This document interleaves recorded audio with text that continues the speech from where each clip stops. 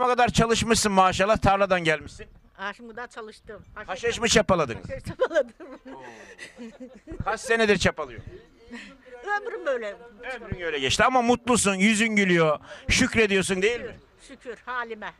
Erdoğmuş'un halkı böyle sevgili seyirciler. Bakın 60-70 yaşına gelen insanlar bile çalışsalar bile hala Allah'a şükrediyorlar. O ayrı bir güzellik. Akşam da bakın eve geldiklerinde böyle onları bekleyen çay yapmışlar. Sana çay yapmışlar yukarıda. Sağ olsunlar. Sağ, Allah razı olsun. Çay yapmışlar. Çay. Çıkalım biz de içelim mi çay? İçelim içelim. Buyurun. Evet köylülerin Erdoğmuşların da bakalım çayını içeceğiz böyle. Şimdi merdivenleri falan da bu yaz için hazırlamışlar. Herhalde bunlarla kiraz vişne toplayacaklar. Elma armut toplayacaklar. Böyle yürüyoruz yukarıya. Konuşmasını bilmem ha. Öyle mi? Evet. Ne yapıyorsun sen çiftçilikle uğraşıyorsun herhalde. Ben ev namaz gidiyor, namazdan geliyor, evde oturuyor akşama kadar. Evde oturuyorum. Kahvemde. Peki. He. Evet, e, Erdoğmuş'ta gündüz başladığımız programa akşam saatinde burada nerede noktalıyoruz? Bir çiftçinin evinde Erdoğmuşlu. Evinde. Kimin evinde? Kara Mehmet'in evinde. Ya sen Gara falan da değilsin. Niye Gara Mehmet dedin? Benim lakabım Kara Mehmet işte. Herkesin lakabı var mıdır burada? Vardır. O Timisi, sen Gara Mehmet. Başka böyle... Başka lakabım yok. Evet. Peki teşekkür ederiz sağ olun. Akşam asker eğlencesi var gidelim mi? Gidelim ben oradaydım akşam ya. Bir daha gidelim mi bugün de olacak? Giderin lan giderin gitmem İyi o ben. zaman. Hadi biz nereye gidiyoruz? Kara Mehmet'inen biz nereye gidiyoruz? Kara Mehmet'inen Çınar'ın altına herkesin birleştiği birlik ve beraberliğin güzel bir şekilde sergilendi. Erdoğmuş 91'e 2 tertip askerlerin eğlencesine gidiyoruz. Bak benim bir de şimdi hayvanlarla son aşağı gelirken olaydı gençlikte sürülerle. Ben Senin sürülerin olduğu zaman bizim televizyon yoktu. ben yoktuk o zaman. Değil mi yani? Ama biz yeni sürüler çektik zaten. Yukarıda açık besi yapılan bir yeri çektik. evet. Peki biz nereye gidiyoruz sevgili seyirciler şimdi?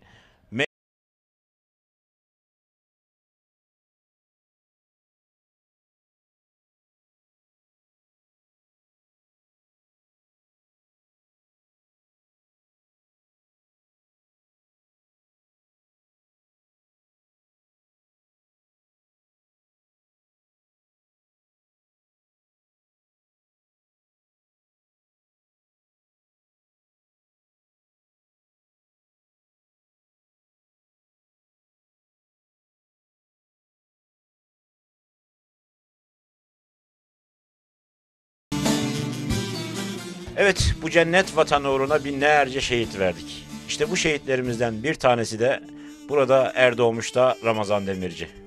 Ramazan Demirci şehit oldu ama ölmedi. İnancımıza göre hala bizim aramızda. Biz de sabırlı ailesine peygamberlerle haşr olacak şehidimizin şefaatine nail olmaları dileğiyle bugün onu da unutmadık Erdoğmuş'a gel- gelince.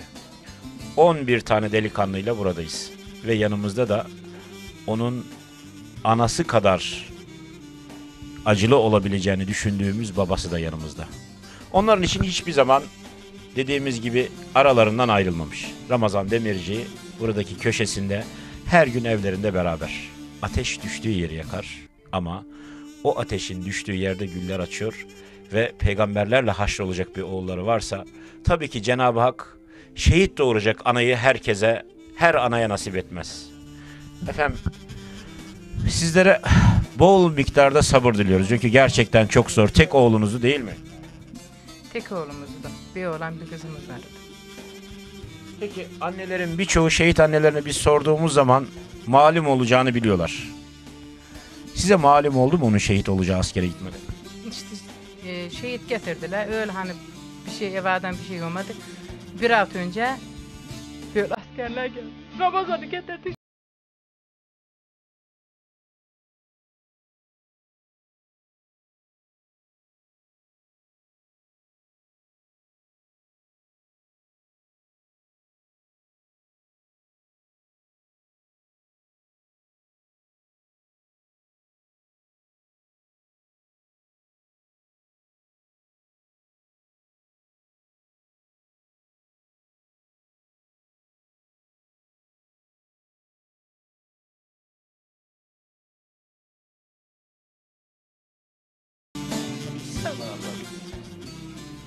Biz lanetle anıyoruz bu insanlara. Hiç tanımadığı bir delikanlı askere gidiyor ve orada hiç tanımadığı bir delikanlıyı öldüren insanlar var, şehit eden insanlar var. Biz annenin acısını daha fazla burada e, deşmek için röportajımı uzatmak istemiyoruz. Babaya şöyle ikisinin arasına girerek sormak istiyorum. Efendim bir şehit babasısınız ve 126 ülkede bizi seyrediyorlar. Biz hep şehit cenazelerinde babalardan şunu duyuyoruz. Sizin tek oğlunuz vardı. Diyorlar ki benim kaç tane oğlum olsa şehit olacağını bilsem tekrar gönderirim. Türk milletinin böyle necip bir kişiliği var. Sizler bizi seyredenlere neler söyleyeceksiniz? Allah'ım bir tek daha oğlum olsa yine gönderirim. Yine şey bu büyük bir mertebe. Büyük bir her herkes bu şeyi e, yaşayana bil- biz yaşadık biz biliyoruz yani biz yaşadık buna. Allah'ım herkesi bu askerlerimize Allah'ım hayırlı tezkereler diliyorum. Allah'ım analarım babalarına televizyonda kavuşmaları nasip eylesin. Herkese nasip olmaz. O nedenle sen kutlu bir annesin. Düşün ki eğer oğlun 70 sene 80 sene yaşasaydı gene vefat edecekti. Bu dünyada çünkü sonuç ölüm. Allah'a döneceğiz. Ama o erken giderek peygamberlerle beraber haşrolacak. O kanlı elbisesiyle geldiği zaman şehit olduğunu bile anlamayacak. Çünkü Cenab-ı Hak ayetlerinde bildiriyor ki hiçbir zaman şehitler ölmez. O nedenle ben yine üzüleceksin. Bu üzüntülerin sayesinde Allah belki seni de onun mertebesinde haşredecek. Şuradan seyreden, askere gidecek çocuklarını gönderen annelere neler söyleyeceksin? Allah'ım onları e, askerlerini tamamlama nasip etsin. Allah sabır versin. Evet. Şimdi e, şehidin dayısı burada bize bir şey anlattı. Şehit olduğunda bizim de ilgimizi çeken bir şey. Hem de şehidin dayısınız. Bu nedenle şehitlik mertebesinin dinimizdeki yeri nedir? Onunla ilgili Allah'ın şehit aileler için teskin etmesi için bir ayeti var. Cenab-ı Allah ayet-i kerimesinde şöyle buyuruyor. Estağfirullah bismillah. وَلَا تَقُولُوا لِمَنْ يُقْتَلَ ف۪ي سَب۪يلِ اللّٰهِ اَنْبَاتٍ بَلْ اَحْيَاءٌ وَلَاكِنْ لَا تَشْعُرُونَ Sadakallahu lazim. Siz Allah yolunda ölenlere, öldürülenlere sakın öller demeyiniz. Onlar bilakis sizin bilmediğiniz bir alemde diri ve yaşıyorlar diyor Cenab-ı Allah. Ve yine Peygamberimiz sallallahu aleyhi ve sellem şehitler hakkında onlar diyor ölümleri ancak bir karıncanın ısırığı gibidir. Yani hissetmezler. On defa dünyaya gelseler yine şehit olmayı dilerler diyor Peygamberimiz. O kadar güzel bir mertebe öyle mi? Bu o kadar güzel bir mertebe inşallah sıddıklarla, peygamberlerle beraber. Bir rivayet odur ki sülalesinden 70 kişiyi, bir rivayet odur ki 70 bin kişiyi e, kurtaracağı, şefaat edeceği tabi Rabbimizin izniyle. E tabi bu e, malumdur. İnşallah Rabbim onun şefaatini hepimize nail eylesin. Amin. Birçok eşyası var. Bir de şehit olduktan sonra hocamızın kızının çektiği bir resim var ki çok ilginç. Sonradan hocam fark etmiş. Ayın içerisinde Allah'ın lafzı yazıyor değil mi? Evet bu ikinci günü işte burada biz e, gere- gerekli e, programlar yapılırken e, çocuk artık ben Balıkesir'de görevliydim dönüyorduk. E, kızım dedim e, bayrakla beraber bir evin resmini alsan e, gidiyoruz. Çocuk çekti. Tabii biz onu o esnada fark edemedik. Daha sonra evde normal bakış e, yaklaştırınca resmi e, Allahü yazısını ayın içerisinde yani bu e, bir montaj veya hiçbir şey değildir. Tabii Rabbimizin e, hikmetinden e, sorgu sual olunmaz. Böyle bir olayı fark ettik. E, çok güzel bir olay tabii. Bilemiyoruz hikmeti nedir, ne değildir onu bilemiyoruz ama e, gerçekten zaten Ramazan'da e, Erdoğmuş köyü için 7'den 70'e yani bir kişi diyemez ki Ramazan birisini kırmıştır veya hata yapmıştır. Allah onu peygamberlerle haşredecek zaten. Öyle bir vaatte bulunmuş. Biz de askere gidecek tüm kardeşlerimizi biliyoruz ki memleketlerinde, köylerinde olan ağabeyleri gibi hiçbir zaman gözlerini kırpmadan şehit olmak için canlarını seve seve verecekler. O nedenle bu memleketi bölme bahanesiyle yola çıkan Marksist, Leninist, dinsiz insanlar hiç unutmasın ki bizim Allah'ımız var. Biz öldüğümüzü düşündüğümüz anda ölümsüzleşiyoruz. O nedenle binlerce Ramazan bu memleket için feda olsun.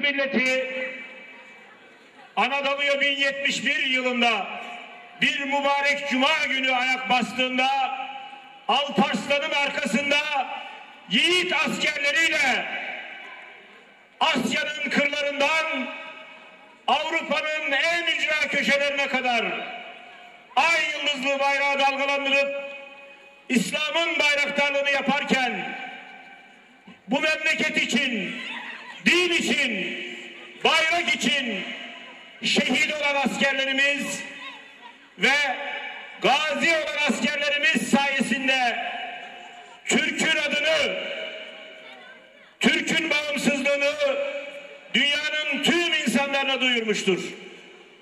Askerlik Türk milleti için doğuşta er olan insanlar için en kutsal, en yüce, en büyük makamdır. Analar içinde asker anası olmak en büyük gururdur. Dünyanın 126 ülkesine Kütahya'nın Gediz ilçesi Er Doğmuş beldesinden yaptığımız bu programda 1991'e iki tertip Yiğit Erdoğmuşlu askerliğe hazırlanan askerlerimizin töreni nedeniyle buradayız. Bayrağımızın göklerde dalgalanması ve bu memleketin ilelebet ezan dinmez, bayrak inmez sloganını gerçekleştirecek bu askerlerimizle gittikleri yerde bu memleketin evladı olarak görevleri nerede olursa olsun en iyi şekilde yapacaklarını gösterirken hem de en güzel bayramı yaşatmak için buradalar. Ben bu manada Sayın Belediye Başkanım ve sadece Erdoğmuş'un değil, Kütahya'nın Gediz'in değerli evladı, sevgili Ömer Ulu, yüreklere tat kuran bir insan ve sevgili asker ana babaları, değerli Erdoğmuşlar ve Erdoğmuş'a dışarıdan gelenlere hoş geldiniz diyorum.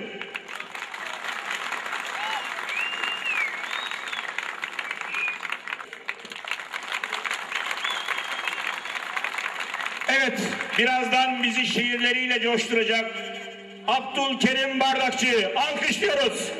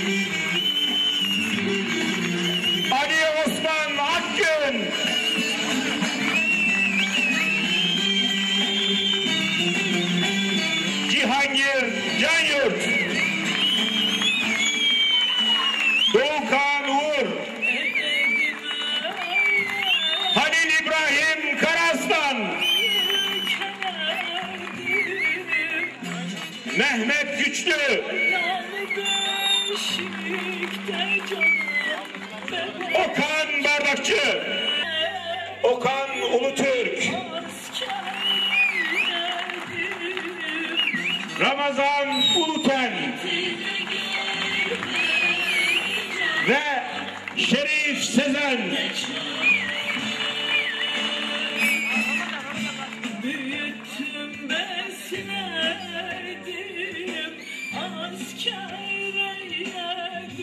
Tüm arkadaşlara hayırlı tezkereler diliyorum.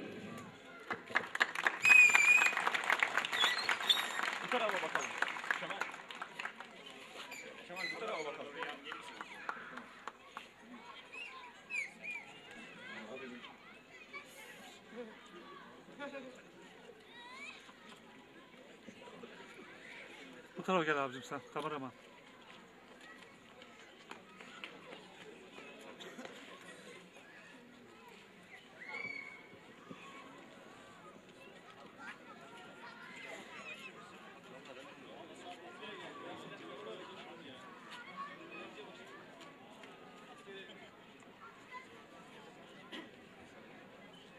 ve mutlu günlerinde davul zurna eşliğinde oynanır.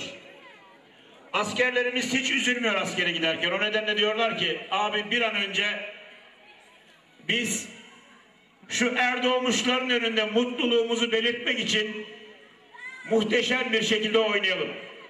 Ben de onlardan oyuna çıkarmadan önce bir şey daha rica ediyorum. Erdoğmuş'un iki yiğidini ilk önce oynatalım. Ondan sonra da sizi oynatalım. Eğer izin verirseniz. Sayın Belediye Başkanım ve sevgili Ömer Ulu'yu izin verirseniz asker arkadaşlarım şöyle bir oynatalım. Sonra da çok değerli bu bölgenin en güzel sazını çalan arkadaş olarak biliyorum. İsmi neydi ben unutuyorum. Hikmet Şendoğan'ın eşliğinde tüm askerlerimizi oynatalım. Şöyle bir alkışlıyoruz belediye başkanımızı ve Ömer Bey'i oyun pistine. Evet çalacağız efendim. Tempo. Allah Bir Allah. saniye, bir saniye. Ya Efe dedik biz kardeşim bir de en iyi sanatçı diye şimdi sen İstanbul'dan falan da istek Pardon tamam özür dilerim. Ali Bey, Ali Bey oyun pistine. Oo, Ali amcasız oyun olur mu ya? Şuna bak ya. Kocaman bir alkış Ali amcaya da. Hadi bakalım sazcı, vur sazın teline.